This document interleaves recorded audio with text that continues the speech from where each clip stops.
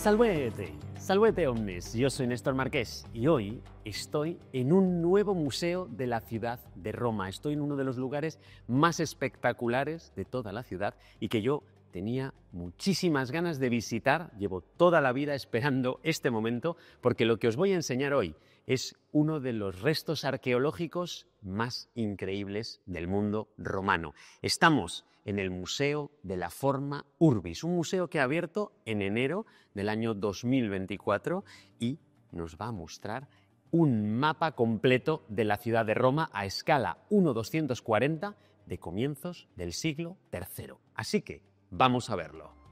Mirad, estamos en un museo en el que, como veis, lo más importante está en el suelo. Fijaos, porque por aquí vamos a ver precisamente los fragmentos de ese mapa de mármol, los tenemos por aquí. Ahora vamos a pasar a hablar precisamente de todos estos fragmentos, gracias, por supuesto, a la colaboración de la Sobrintendencia Capitolina, que nos ha permitido estar aquí, hoy, completamente solos, para disfrutar de este gran mapa de mármol romano.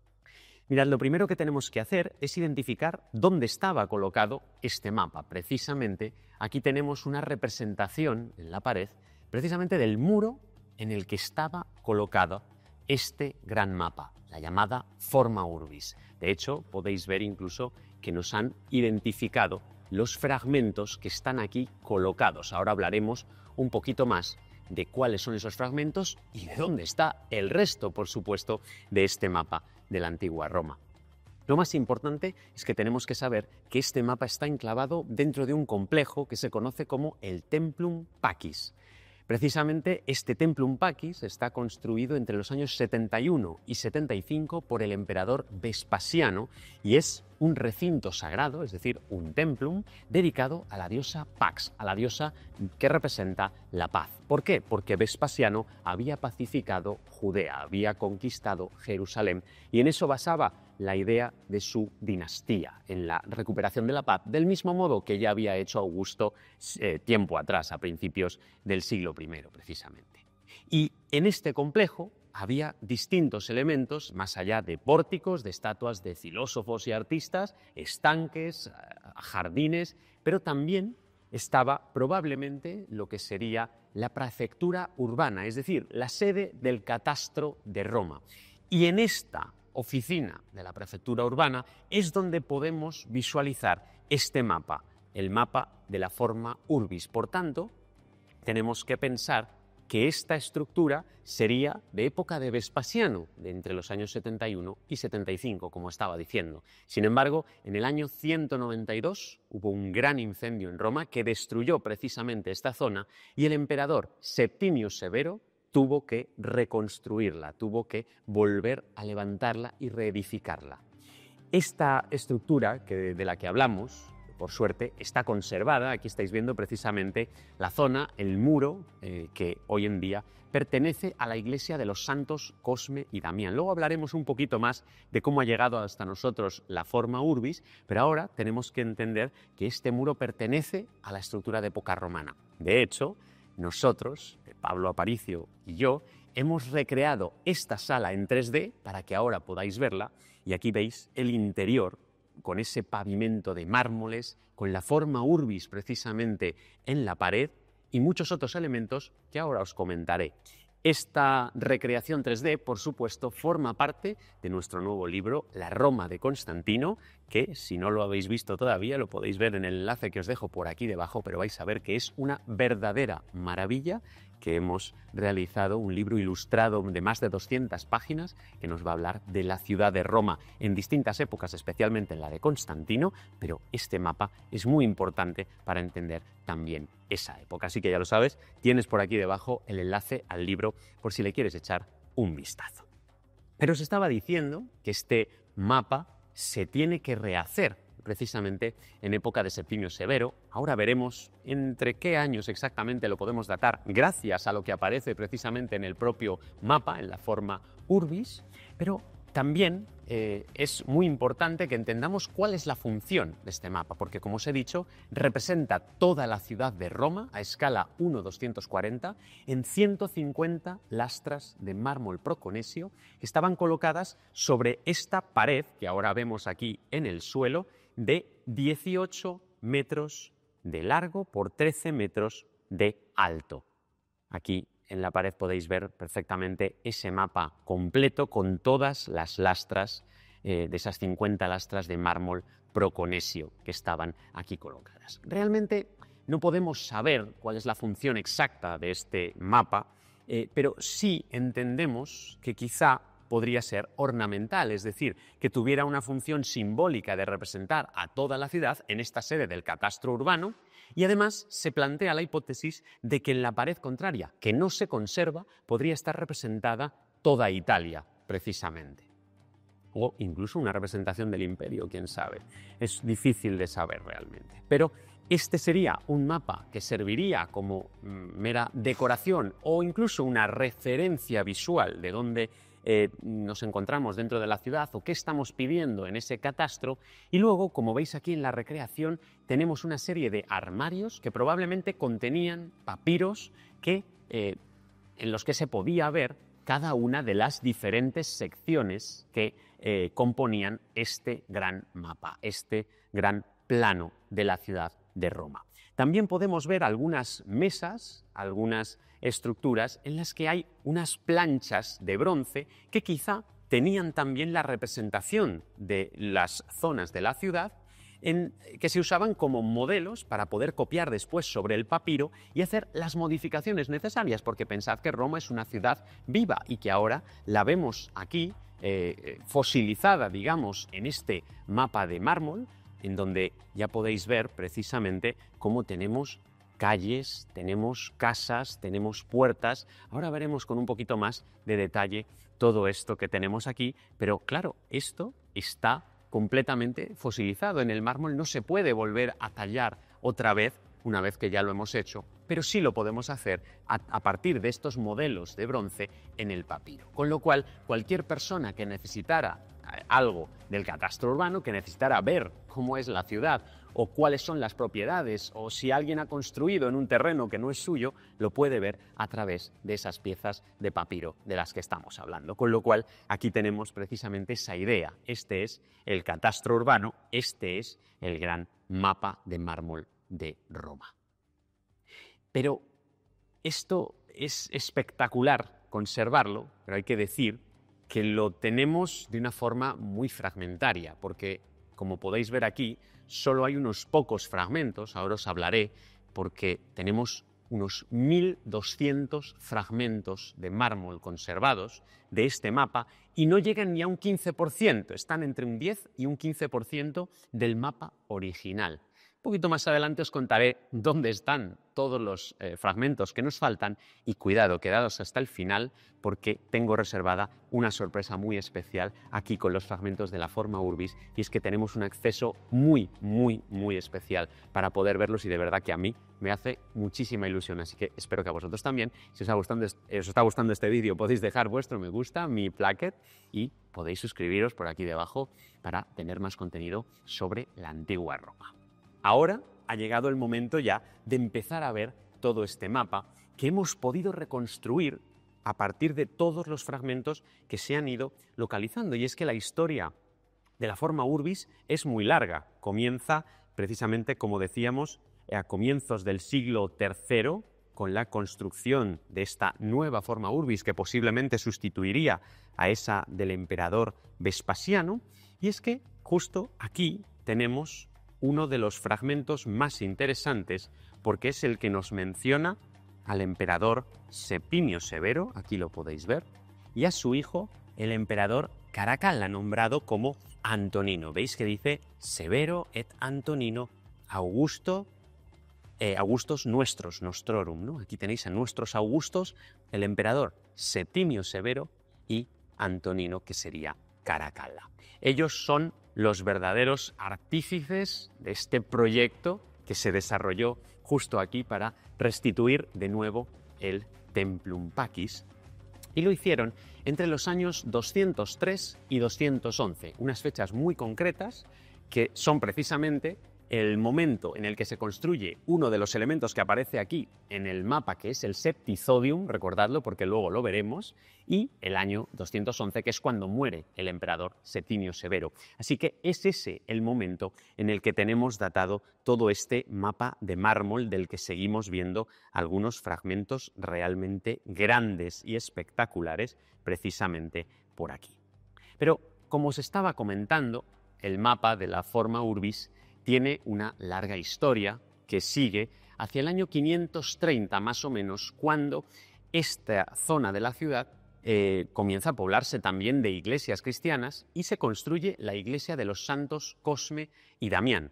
En ese momento, la iglesia de los santos Cosme y Damián utiliza el muro de la forma urbis como parte de su jardín trasero y precisamente por eso lo hemos conservado. De hecho, que podamos restituir buena parte de este gran plano de mármol, de esta forma urbis, se debe a que conservamos la pared. Y en ella, como podéis ver, hay montones de pequeños agujeros que se corresponden con las lastras de mármol, con todas esas placas, con esas 150 placas de mármol proconesio que formaban el mapa. Gracias a eso, los arqueólogos han podido a través de los siglos ir recomponiendo todos los fragmentos que estáis viendo precisamente por aquí. Porque además, fijaos que nos han marcado estas líneas rojas que corresponden precisamente a las lastras de mármol. Todos estos fragmentos que estáis viendo aquí corresponden a una sola lastra. Se puede ver perfectamente el corte entre una y otra, lo que nos permite pues no solo tener que reconocer la ciudad a través de los elementos que aparecen en las placas, sino que también podemos reconocerlos a partir de la forma de las propias lastras de mármol. Y esto es extremadamente importante. Pero claro, ¿por qué no conservamos más partes de este mapa? ¿Y por qué todas las que conservamos están, pues digamos, en la zona superior hasta la zona media. Por debajo de estas, que ya sería la zona inferior del mapa, no conservamos ningún fragmento, al menos ningún fragmento que hayamos podido identificar. Bueno, pues esto se debe a que esas piezas se fueron cayendo precisamente desde la parte de abajo o incluso las fueron expoliando, porque recordemos que en la tardoantigüedad este tipo de material era muy valioso, en este caso para hacer cal. El mármol hace una cal buenísima y lo que hacían era recuperar todos los fragmentos de mármol posibles para fundirlos en un horno y hacer porque en esa época no se valoraba el, valor artístico, arqueológico, histórico de un objeto como este, sino se valoraba el poder vivir, poder sobrevivir y poder construir casas. Y eso era lo más importante. Por eso precisamente hemos perdido buena parte de los fragmentos y solo conservamos algunos que tenemos por aquí, otros que se conservaban en algunos momentos, pero que desgraciadamente se han perdido y otros que quizá todavía están por descubrir, porque la mayor parte de los fragmentos eh, se encontraron en el año 1562, precisamente en el jardín trasero de la iglesia de los Santos Cosme y Damián, eh, justo debajo de la pared que eh, contenía la forma urbis. Aparecieron todos esos fragmentos que fueron comprados por la familia Farnese, una de las familias más poderosas de la Roma de aquel momento. Imaginaos que compraron todos estos fragmentos y comenzaron a identificarlos y a recomponerlos, así como a hacer algunos dibujos como estos que veis aquí que se corresponden con fragmentos que hoy en día hemos perdido o que, como veis, se han partido en diferentes trozos y que solo conservamos algunos de ellos, pero por suerte conservamos esos dibujos de algunos otros que nos permiten restituir las partes que hoy en día nos faltan dentro de este gran puzzle arqueológico que de verdad yo os digo, a mí siempre me ha encantado y os puedo contar una pequeña anécdota y es que hace muchos años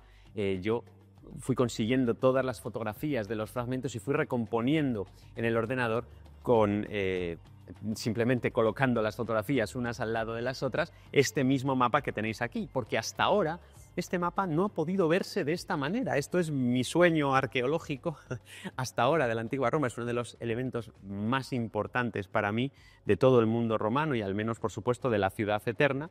Y precisamente ahora lo tenemos de esta manera. Sabed que A partir de ese año 1562, los fragmentos pasaron a formar parte de la colección Farnese, estaban en el Palazzo Farnese aquí en Roma, y solo en el año 1741 fueron donados al pueblo de Roma. Pero no todos, porque muchos de los fragmentos quedarían ocultos, ocultos dentro de los propios muros del palacio porque quedaron olvidados como material de construcción. Parece increíble, pero es cierto, es así.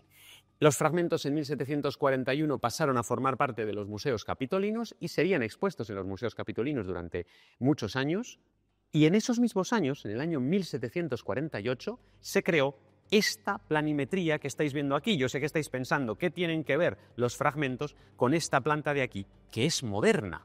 Pues es que este es el plano de Noli de 1748, que ahora se ha utilizado en esta museografía para rellenar todos esos huecos que no conservamos. Fijaos cómo por aquí tenemos precisamente también el río Tíber, como vemos todas las estructuras que, a pesar de que son modernas, pues nos están permitiendo ver perfectamente la topografía de la ciudad. Aquí, dentro de muy poquito ya, vamos a empezar a ver algunos fragmentos. Por ejemplo, tenemos el Monte Palatino, el Palacio Imperial romano, que en estos momentos era la villa farnesiana de la familia Farnese precisamente también.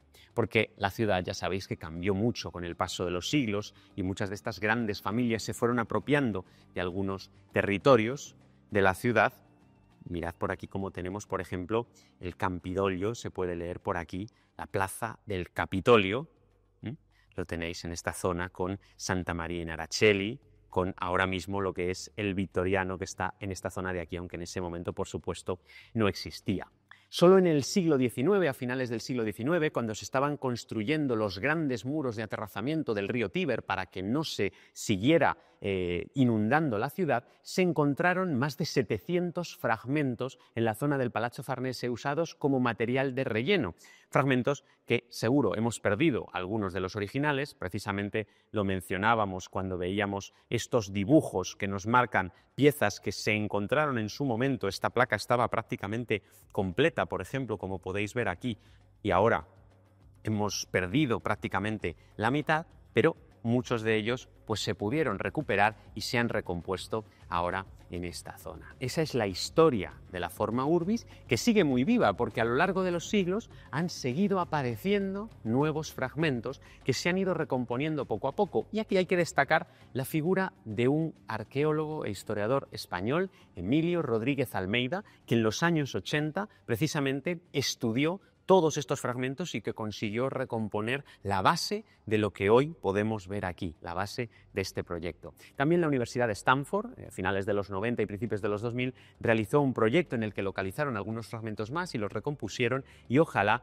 en un futuro podamos seguir estudiándolos ahora también con la tecnología. Ya sabéis que podríamos hacer una actualización de ese proyecto de Stanford que se hizo hace muchos años, en el que se empezó a virtualizar en 3D los fragmentos con unas técnicas todavía muy básicas y que hoy en día se han desarrollado mucho y ojalá podamos decir en un futuro que hemos podido virtualizar en 3D todas estas piezas que tenéis aquí y que, bueno, pues gracias a la tecnología hemos podido también añadir algunas nuevas piezas a este mapa. ¿Por qué no? Fijaos, y ahora sí, ha llegado el momento de mostraros los detalles de la forma urbis. Vamos a ir viajando por los diferentes fragmentos para que podáis ver un poquito mejor lo que aquí tenemos representado. Vamos a empezar por la Basílica Ulpia, la podéis ver precisamente aquí, Basílica Ulpia, aquí está la columna de Trajano que estaba conservada prácticamente al lado estaba la biblioteca que estaba al lado conservada en uno de los fragmentos y aquí podéis ver el fragmento de la Basílica Ulpia. Este sería el foro de Trajano. Aquí está el foro del emperador Augusto. Conservamos el fragmento que se corresponde con el templo de Marte Vengador y uno de los laterales de las exedras que tenía precisamente el foro. También podéis ver aquí el foro transitorio que vendría en toda esta zona con el templo de la diosa Minerva, mandado construir por el emperador Domiciano. Ya sabéis que luego la historia lo considera el foro de Nerva, porque el emperador Domiciano fue asesinado. Esta sería la entrada del Argiletum, de la calle que unía la Subura con el foro. Esta es la llamada Porticus Absidiata. Precisamente en esta zona de aquí, también podemos ver la estructura del Templum Pacis.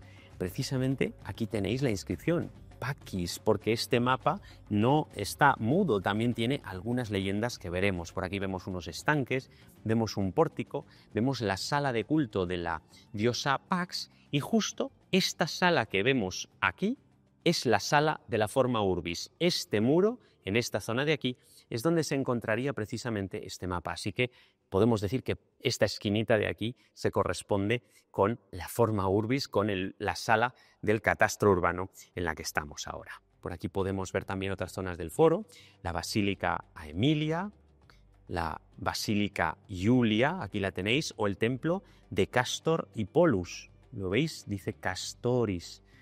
Aquí lo podéis ver. Es decir, que esta zona es la plaza del foro. Aquí tendríamos el arco de Septimio Severo. Por desgracia, no podemos decir que hayamos conservado muchos fragmentos de esta zona tan importante de Roma, pero realmente vamos a ver que de otros espacios sí hemos conservado una muy buena parte. Por ejemplo, vamos a acercarnos hacia esta zona de aquí, vamos a venir desde este lado, como veríamos el mapa precisamente orientado hacia el sureste, una orientación nada común para nosotros, pero nada raro para los romanos. Así es como ellos veían su propia ciudad.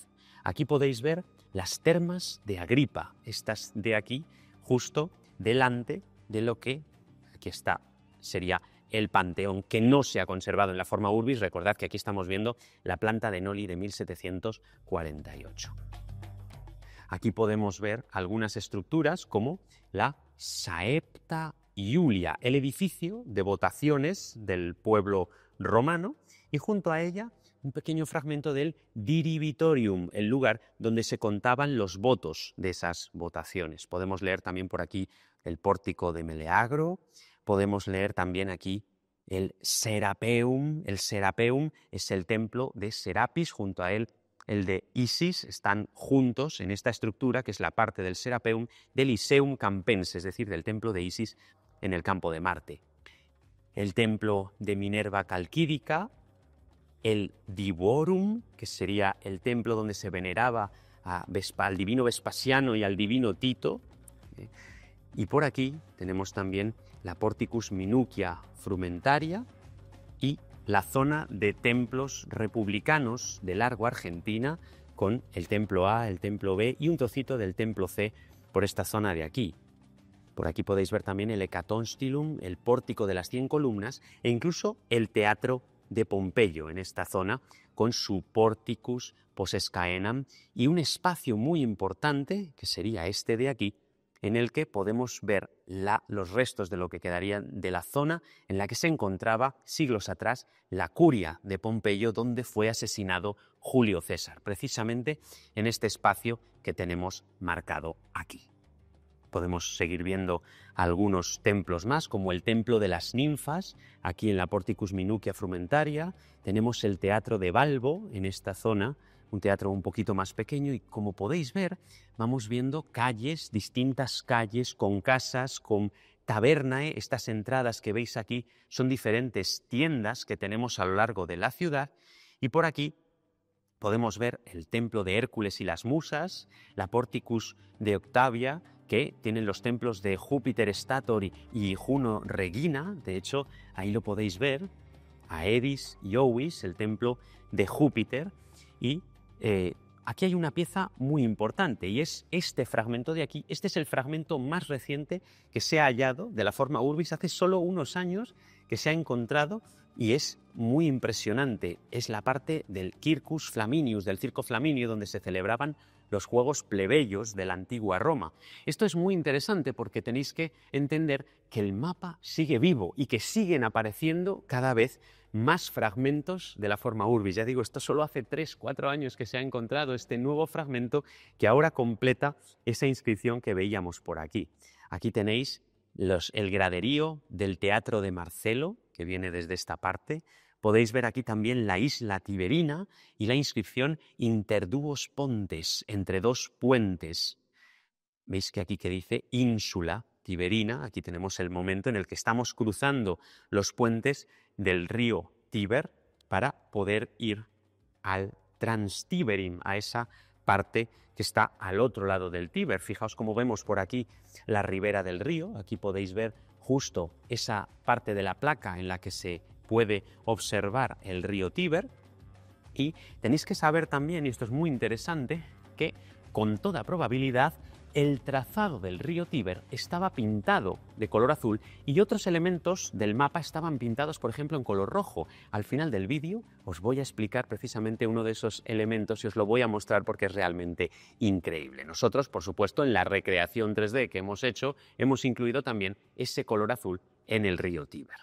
Por aquí tenemos un elemento muy interesante como es el Vicus Stablarius, en la calle donde estaban los establos de las facciones de los equipos de eh, carros, de corredores de carros del Circo Máximo, un Circo Máximo al que nos dirigimos ahora mientras os explico que además de encontrarlo en la forma Urbis, realmente en el año 2012 se excavó en esa zona y se encontraron los posibles establos de la Factio Rusata, del equipo rojo de las carreras. Hemos llegado también ya lo tenéis aquí, al Circus Maximus. Sé que hay que hacer un pequeño ejercicio de eh, abstracción para entender cómo estos pequeños fragmentos componen la inscripción completa, pero cuando se enseñe esta zona de aquí lo vais a entender mucho mejor. Fijaos cómo se ve perfectamente todo, eh, toda la estructura de la curva de ese circo máximo que estaría colocado precisamente toda esta estructura de aquí. Aquí veíamos algunos fragmentos conservados del Palacio Imperial, del Palatino, y si venimos a esta zona recordamos el Septizodium. Aquí podéis ver el Septizodium, que eh, es una estructura monumental, un ninfeo, aquí lo podéis ver, un fragmento de ese ninfeo que fue derribado en el siglo XVI por el Papa Sixto V, pero que se conservaba en parte. Es un gran ninfeo monumental que estaba situado a la llegada de las vías Apia y Latina, precisamente en esta zona de aquí. Esta estructura es la que nos data el momento de construcción del mapa de la forma Urbis en el año 203, porque si está aquí, este mapa tiene que ser posterior al 203, pero no puede ser posterior al 211 porque justo aquí detrás tenemos la inscripción que nos marca que está construido por Septimio Severo y su hijo, el futuro emperador Caracalla. También hay un detalle aquí en el que vemos cómo el lapicida, es decir, la persona que ha tallado este mapa, se ha equivocado. Aquí podéis ver cómo empezó tallando una A, aquí la veis un poquito marcada, pero en realidad no es Saeptizodium, sino Septizodium. Se equivocó, talló una A, no era correcto y por encima talló la letra E. Pequeños detalles también de la vida cotidiana de un eh, mapa como este, tan importante, pero que realmente, pues como veis, tiene también algunos errores. Errores que se pueden ver, por ejemplo, en el templo del Divino Claudio, que está situado en esta zona y es uno de los lugares mejor conservados, también esta placa, y es que está situado de una forma equivocada en el mapa. Hay un error bastante grande en la ubicación de este mapa, es decir, no es perfecta la colocación de todos estos espacios, aunque tenéis que imaginar lo difícil que es en época romana eh, sin tecnología actual, pero con su propia tecnología de la época, el poder colocar todos estos elementos. Está claro que hay algunos errores, pero realmente son mínimos en la mayor parte de los casos. Aquí podéis ver, como os decía, el templo del divino Claudio, construido en época del emperador Nerón, pero definitivamente completado en época de Vespasiano. A Vespasiano también le debemos el Amphiteatrum Novum. Aquí tenemos ese anfiteatro que todos conocemos como el Coliseo. Aquí podéis ver los Maeniani, los graderíos de esa estructura tan impresionante, y junto a ella también vemos la escuela de gladiadores, el Ludus Magnus, la escuela de gladiadores más importante del mundo romano, que está precisamente excavada y que se conserva. Por aquí también podemos ver otro Ludus, el Ludus Dacicus, que es otra de las estructuras eh, que se encontraban en la zona para formar a esos gladiadores, para entrenar a esos gladiadores. Veis que por aquí también tenemos otros fragmentos como el del pórtico de Libia, la Porticus Libiae, construida por orden de Augusto en honor de su mujer, de la emperatriz Libia, y muchos otros fragmentos que nos muestran, por ejemplo, la vida más cotidiana, como este de aquí, fijaos.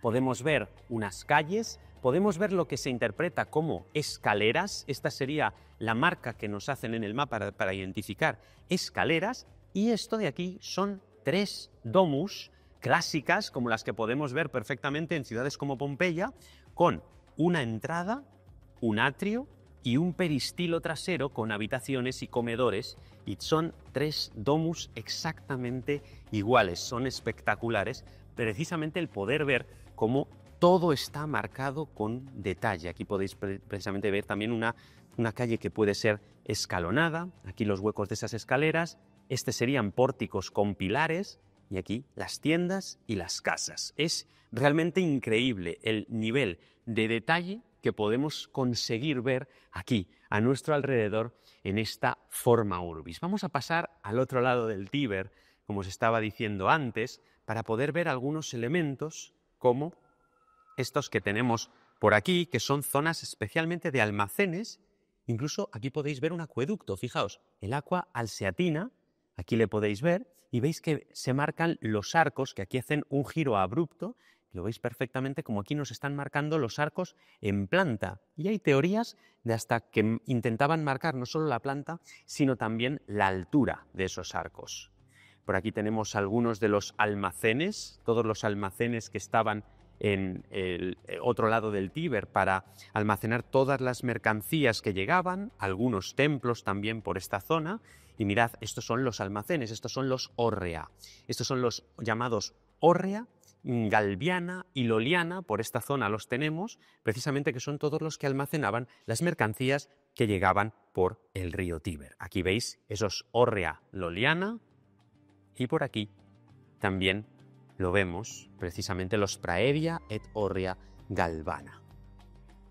Tenemos muchísimos fragmentos que descubrir, por ejemplo, el Balneum de Sura, o por ejemplo aquí también podemos ver el templo de Minerva y el templo de Diana Cornificiana. Fijaos aquí en cómo el templo de Minerva está escrito con una B en lugar de con una letra V, porque bueno, la ortografía en esa época tampoco estaba tan fijada y aquí el lapicida ha hecho esa, eh, digamos, ese error ortográfico en nuestra concepción. Mirad cómo aquí tenemos la única placa que está completamente conservada, una placa relativamente pequeña, pero que nos muestra pues uno de esos aspectos completos de las 150 placas de mármol proconesio que tenemos aquí en el mapa de la forma urbis. Pero se estaba diciendo que hay muchísimos fragmentos que están sin colocar y esta es una selección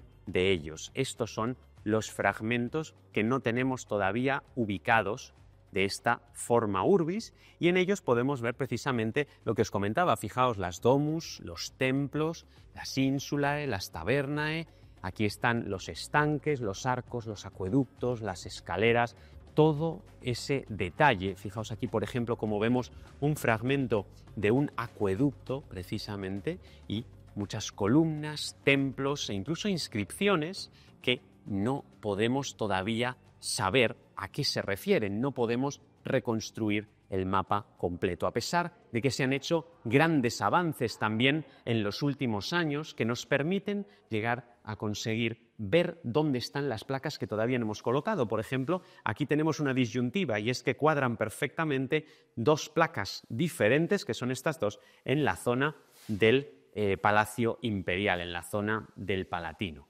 También es interesante que veamos cómo estaban fijadas estas placas. Aquí tenemos algunos fragmentos que no están ubicados, que no sabemos de dónde proceden, pero que, bueno, pues podemos ver este sistema de placas que se unía con grapas y hay algo muy interesante y es que fijaos, aquí se puede ver cómo esta pieza fue hallada en las excavaciones de la Basílica a Emilia en el verano de 1999. Un detalle muy interesante que nos permite ver cómo todos los fragmentos de la forma urbis se han ido descubriendo por toda la ciudad de Roma. Y esto es muy interesante porque realmente se han ido ah, descubriendo en muchos lugares porque muchos se los llevaron en época tardoantigua y medieval y a lo mejor nunca los llegaron a quemar para hacer esa cal.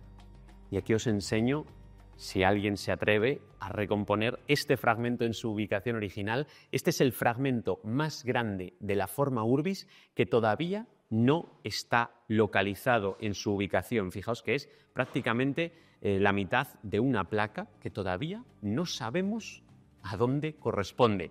Misterios que tendrán que esperar al futuro precisamente para poder resolverse. Y es que ahora la tecnología nos ofrece también esa posibilidad. Pero, como ya os he dicho, la forma urbis es mucho más que estas piezas que tenemos aquí. Sabéis que no suponen ni un 10%, ni llega al 15% de las piezas eh, que tendría originalmente en estas 150 placas de mármol proconesio. Y además de las que ya hemos podido ver precisamente ahí colocadas, aquí en el Museo de la Forma Urbis tenemos todos los fragmentos conservados, unos 1200 ya sabéis, y hoy tenemos la suerte de poder verlos todos. Fijaos, porque hay que agradecer precisamente a la Sobrintendencia Capitolina que nos permitan un acceso exclusivo a esta sala que hay aquí, a la que vamos a entrar ahora, para ver el almacén de la forma Urbis, donde están todos los fragmentos que de momento no han podido ser recolocados. Así que vamos hacia adentro. Esto de verdad es algo muy especial, es un momento para mí increíble también porque realmente fijaos en todas las piezas que hay aquí conservadas, están perfectamente catalogadas y esperando que algún día los investigadores, quizá dentro de unos años, quizá dentro de muchísimo tiempo, puedan llegar a determinar dónde se colocarían todas estas piezas que veis aquí. Fijaos, porque algunas de ellas, aquí las podemos ver, ya están ubicadas entre sí. Fijaos cómo estas están perfectamente colocadas, estas otras de aquí también, porque con el paso de los años se han ido encontrando las uniones entre ellas. Veis que algunos fragmentos son realmente grandes, como estáis viendo por aquí, pero realmente también tenéis que pensar que es muy difícil colocar todos estos fragmentos porque son solo calles, casas, de las muchísimas que había por toda la ciudad de Roma y es prácticamente imposible llegar a localizarlos todos. Fijaos cómo tenemos toda una serie de estructuras que están marcadas por aquí en este almacén de la forma urbis que tiene todos los fragmentos que tienen algún tipo de incisión, que están tallados, porque también hay otro almacén con fragmentos que están en blanco, pero que podrían pertenecer perfectamente a la forma urbis. Mirad cómo por aquí tenemos algunos fragmentos más, algunos tan interesantes como este, en el que podéis ver cómo está marcada una línea de color. Además, este fragmento, que probablemente se puede ubicar en la zona del circo máximo, está marcando con esta línea la división entre dos distritos, dos regiones de la ciudad de Roma. Y eso es también muy importante porque precisamente ya sabéis que el mundo romano estaba policromado y la forma urbis severiana no es una excepción, no solo en algunos elementos como ese, sino también en el río Tíber, coloreado posiblemente de azul, como nosotros hemos hecho en la recreación que habéis podido ver precisamente de nuestro libro La Roma de Constantino, que ya sabéis que os dejo por aquí el enlace si lo queréis conseguir. Vamos a ver algunas de las piezas más que tenemos por aquí conservadas porque es realmente impresionante. Para mí es toda una experiencia poder estar ahora mismo en este espacio, en este almacén de la forma urbis gracias a esa colaboración con la Sobrintendencia Capitolina. Así que muchísimas gracias. Todos los que estáis viendo también este vídeo, tenemos que agradecer que podamos estar ahora mismo en este espacio tan impresionante para poder ver todos estos fragmentos que ojalá algún día puedan ser recolocados en el plano, en la forma urbis.